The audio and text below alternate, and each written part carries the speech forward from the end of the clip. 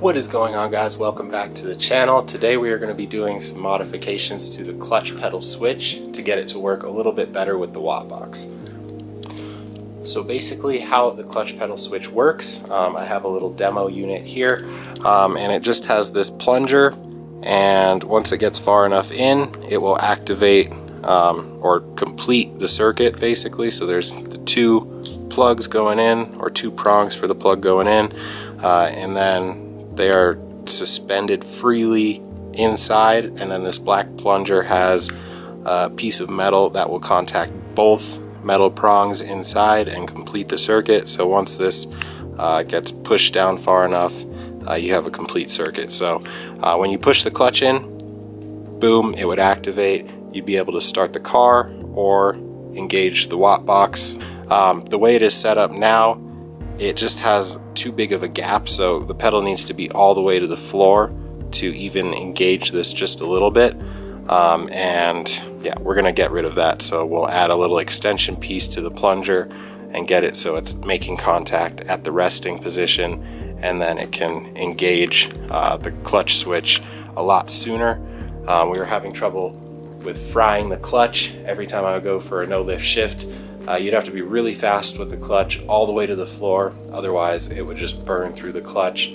Uh, the second you start letting any tension off that, it just starts frying with how much power the car is making. So we're gonna get rid of that. So basically to make this extension piece, I went ahead to AutoZone and picked up a vacuum cap assortment set. So let me open this thing up so you guys can see what they are.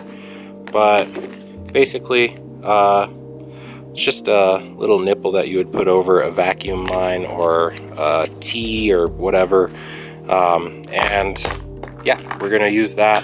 It'll just increase the length of the switch just enough and hopefully we'll get a little bit more action out of the switch sooner and we don't have to push the clutch to the floor to get the no lift shift to work or even the WOT Box in general or starting the car. So it'll just kind of make this switch more usable in the car uh, with how it sits.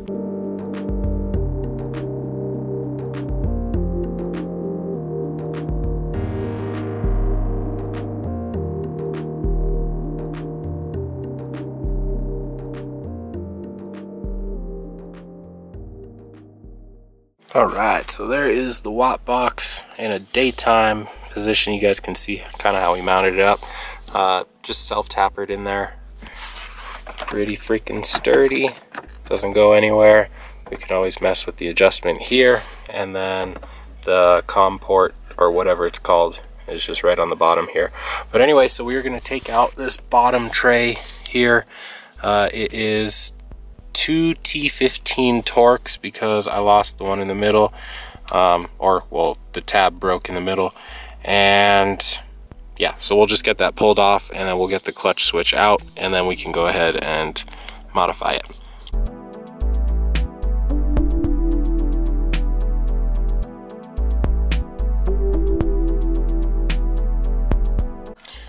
All right, and then we pull this thing down if we can.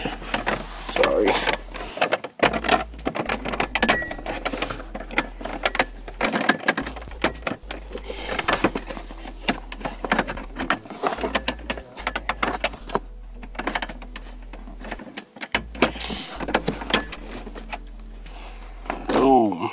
Look at that rat's nest, boys. Anyway, so we will undo the clutch switch up here.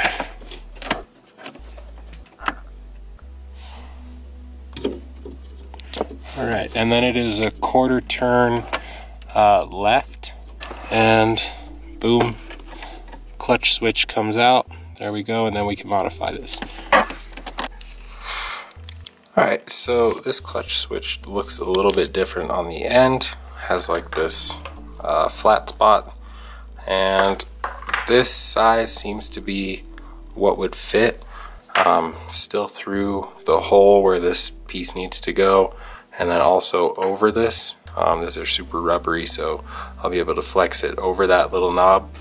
And uh, so like I was saying, it only needs to move in that far before it engages but it's only moving that far at the end of the clutch pedal's stroke. So, um, and we've got all that movement there. So um, extending it won't overextend it and start uh, putting pressure on like its mounting points. So we should be good. And then also this thing is rubbery enough to absorb a little bit of extra um, force in case we do bottom it out prematurely. Um, but it should be pretty good. So I'm gonna go ahead and put this piece on and then we'll throw it back in the car and see what happens.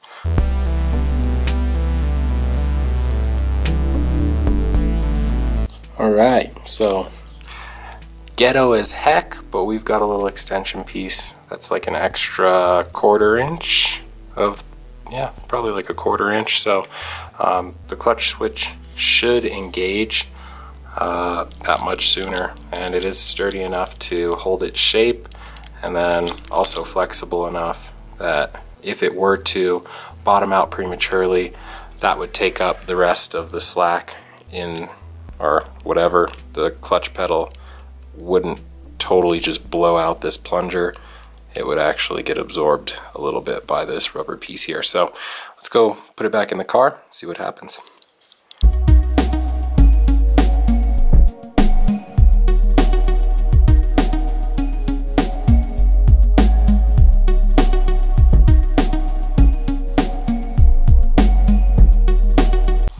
Alright guys, so everything is installed.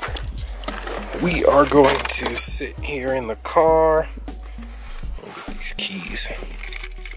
So we'll turn the ignition on. Alright, and blue light is on here. Uh, we can go full throttle here. Um, I have it set for about 70% throttle, so before my foot all the way hits the ground, you guys can see it is blinking and then there's full throttle there. So um, I set up the throttle um, input voltage for this uh, at about 70% throttle. And then uh, like I said the clutch pedal used to have to be all the way to the floor. Now we are that is about right when uh, it starts to get tough on the pedal. So blinking there. And then I have that much more to go. So that made a huge difference. So yeah. Awesome. Pretty easy install. Uh, this thing costed I think it was like 12 bucks after tax something like that. And uh, I'm sure let's see if we start the car. So I'm gonna turn the ignition so it is ready to start and then once the yeah so that is way sooner. Awesome. So that made a huge difference on where uh, the clutch pedal needs to be to activate that stuff. That is literally that's huge. Awesome so although that wasn't much, that is actually like a huge difference because like I was saying, when you go for a no-lift shift, uh, you stab the uh, throttle pedal all the way to the floor, you're under boost, you're under crazy amounts of load. The second the clutch starts to release, um, it needs the ignition to cut, otherwise you are going to fry the clutch until you get to the point where it starts to cut. Um, so that needs to be as early as possible in my opinion.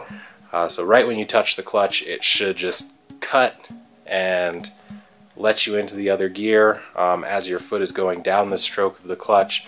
And then uh, you'll be letting off the clutch and uh, it should come back on. So yeah, anyway, thank you guys for watching that one. That was a pretty quick and easy install and modification, whatever you want to call it. Thank you guys for watching and see you in the next one.